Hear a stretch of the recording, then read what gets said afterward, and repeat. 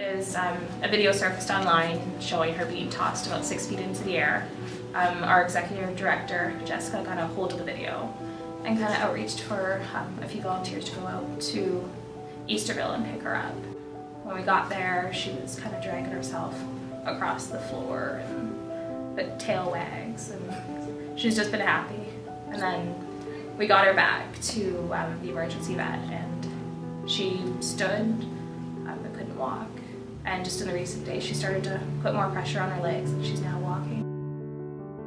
I had hundreds of um, applications for her, anywhere from BC to Nova Scotia wanting to adopt her and the support's been great for the rescue.